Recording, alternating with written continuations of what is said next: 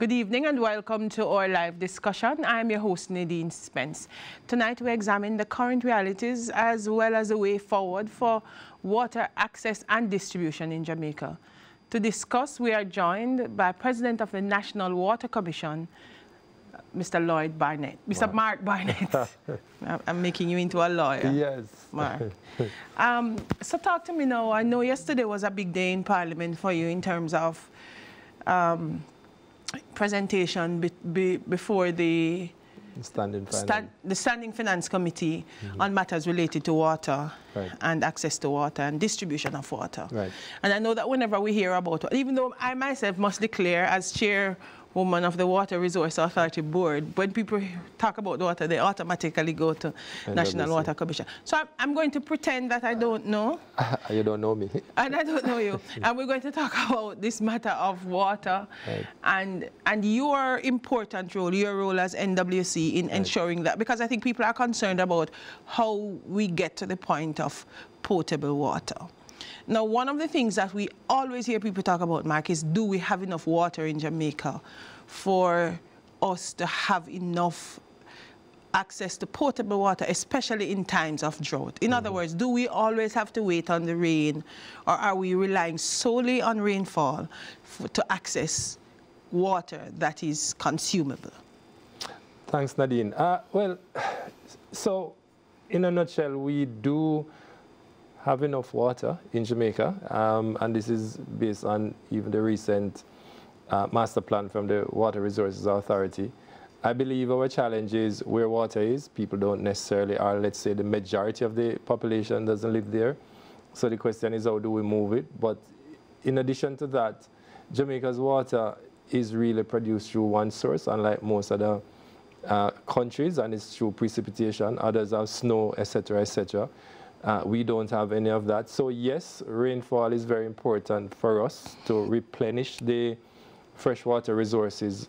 Uh, but in general, Jamaica do have enough freshwater resources to satisfy the, the needs and the demands of the population. Uh, from an NWC perspective, we do produce uh, adequate water. Our challenge, and I would be the first to say that, is, is just the, the, the quality of our network that ensure that we uh, deliver maximum from what we abstract and, and treat to distribute. And I think that's where the investment needs to be uh, focused as well, notwithstanding that we still do need uh, new capacities, meaning new treatment facility, because the work of uh, improving the efficiency of your network is a long process. It's not a short-term activity. So from those uh, initiatives, I believe we, we can see a much improved uh, water distribution and a more sustained supply to ensure that even in the worst uh, case of drought, we do can satisfy the demand of our population. Hence the reason, and I'm sorry that I might be preempting you, hence the reason we invested heavily in NRW in Kingston, and now we're doing the same in, NRW in non-revenue water. My mm -hmm. apologies. We in the industry always just delve into the acronyms rather than give the full definition. Uh, non-revenue water, we, we did a successful program in And what is non-revenue water? It's really water that you produce but receive no revenue from. It's either leak, stolen, or you know under registration of meters, etc., etc. So there's a number of different uh, variables that make up that simple acronym, really, or the simple quantum. So we're doing Portmore. But we also recognize as part of the strategy that the NRW in itself will not solve the entire problem. And I know, especially now that we have a drought, the population is going to ask, So let's talk about that. Yeah. You talked about the distribution issue. Yes. Um, what are we doing to fix that? We have enough water, yeah. but during times of drought, we, people right. talk about just the drama they have to go through to get water. And people blame you a lot. All the time. Because we don't know when NWC go and lock off the water, the NWC lock off the water yes. how long.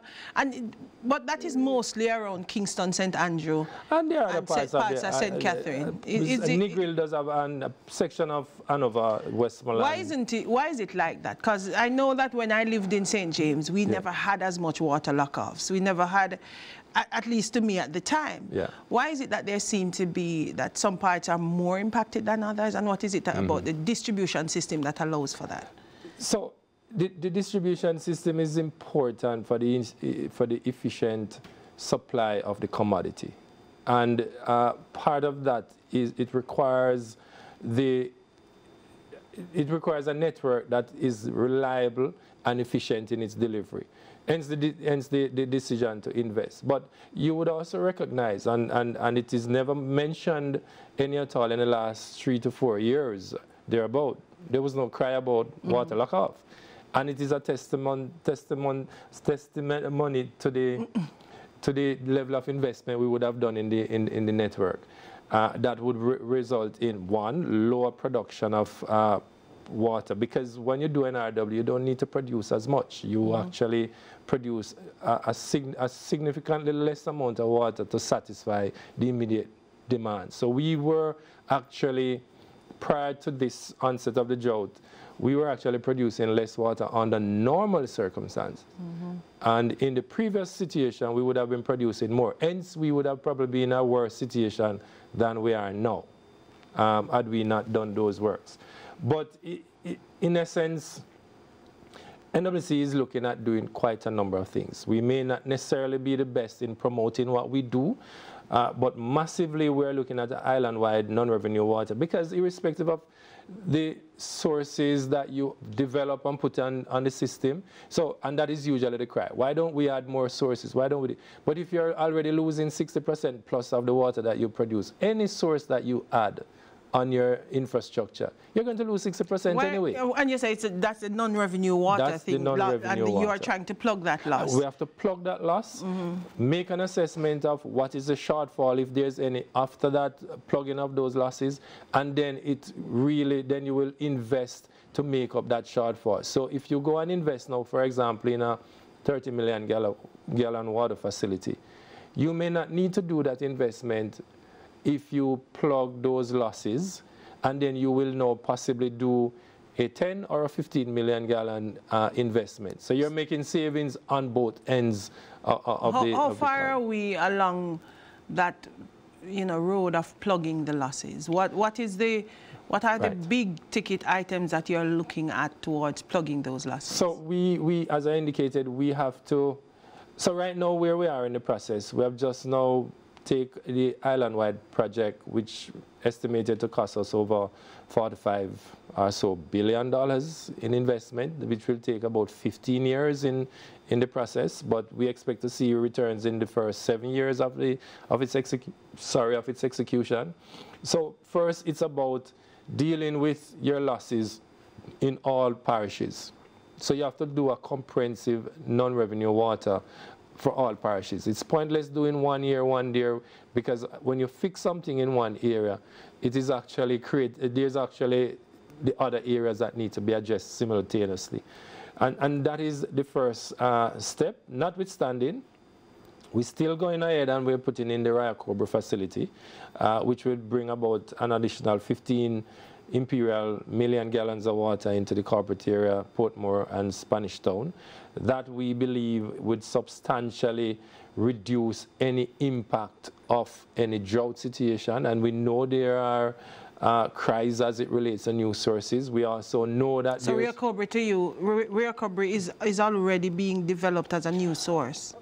Rio Cobre now, mm -hmm. we are at the stage of the, it's a public-private partnership mm -hmm. that we are entering in. And where we are now, the private sector consortium is doing the, is going through the approval process. We are anticipating groundbreaking to, uh, to be in May this year. Mm -hmm. And it will take us probably 18 to 20 months to complete that uh, 15 million gallon facility. And immediately thereafter, there will be significant benefits to the population Uh, of the metropolis, if you will, Kingston and St. Andrew. St. Catherine, Portmore. Kingston and St. Andrew presents a challenge in, in, this, in, the, in the fact of you needing to bring water in. Yeah. Because the water table in Kingston is not able well, to be accessed so that it can help with the problem that Kingston and St. Andrew faces? Very good observation. Because you see, oftentimes when we speak about water, water remember resources... Remember presenting that I know. Yes. Yeah. we have to, a, as a concerted effort, uh, supported by GOJ, we must sewer, lay sewer pipe across the length and breadth of the corporate area. We have an aquifer that we are unable to maximize its productive capacity. So you're looking at a trench town, trench well that we usually operate. We have to stop using it because it is high in nitrates.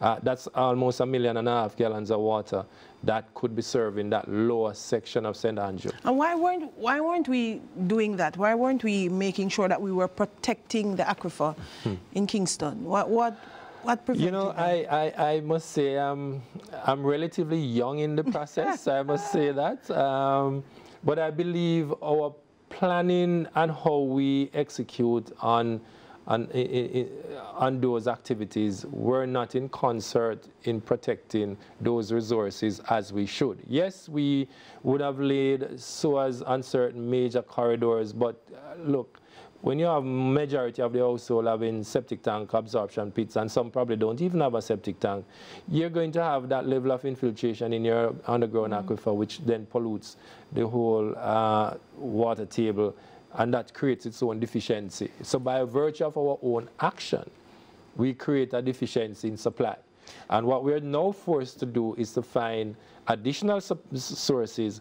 But I believe if we make the investment, which is a long-term investment, we can resuscitate those aquifers and start to generate probably six, eight million gallons of water additional into the city. In fact, it may not even require us to pump those wells continuously because even while, when we, you know, in the last few months, when we had normal su supply, a lot of the wells that we normally pump, or a few of the wells that we normally pump, we rested them. Mm -hmm for virtue of having um, good supplies. So and then so so we're talking about the unequal distribution island-wide. Mm. That some places are, are, are experiencing water shortage right. and water lockoff. Some places right. are quite okay with the supply. Yes.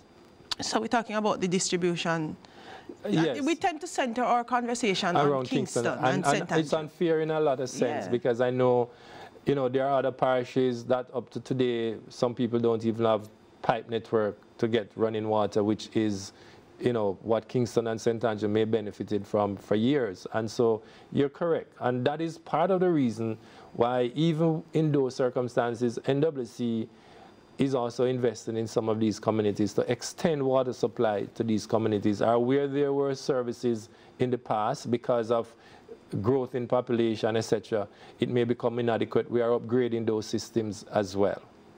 Are we working from behind the eight ball, or are we trying to, are we trying to catch up? How, how are we doing this? Are we, are we still playing catch up? Are we near anywhere where we could say, you know, we look, we see the problem, it look like mm -hmm. we, we grasp it, and we know we, we're inching close to it, and there will come a time when we will be yeah. ahead of it. You know? I, I, think we've always grasped the, the, the problem. I, I, I, I believe, based on my own um, information, it was just the availability of the resource to invest. And a water supply system is not an investment that you do now and you leave it for the next 50 years. It's an infrastructure that you have to be consistently investing in to ensure that it serves the population now and those to come. And so you may say, yes, we have some way to go, but the, the, the, the, the, the, situation was always understood. We have various studies, um, and I know people don't necessarily like to hear about studies, but the fact that they were studied, it simply means somebody has the foresight to look at solutions that could be implemented. The question, therefore, is these were never implemented because of various reasons, lack of resources, etc., etc. And the fact as well, as a government entity, there's always going to be those challenges of people, even when the best of time, mm -hmm. receiving the, the commodity, don't necessarily like to pay for it. And, and that's, a, that's an area that we have to tackle based on the social issues surrounding supply of water. So if I can use my knowledge now, the water sector is not just the water commission. It's not. We have Absolutely the not. agricultural yes um, enti the entity that looks after water for agricultural yes. purposes. Uh, and I, I, know that's not your primary focus, but you know as well. So I'm from St. Elizabeth, and I know that you know one of the challenges we face in certain parts of St. Elizabeth. Not yes. my part. My part have flood. Your, your part is the my is part is, my part have too much water, but over the south side yes. they don't have enough water. And you and I were talking earlier about yes. St. Elizabeth's unique unique reality. Yes. You know, and so while we might not be talking about domestic water in St. Elizabeth, we're talking about agricultural Agriculture. water. Yes. How how how do you you interface with that, do you?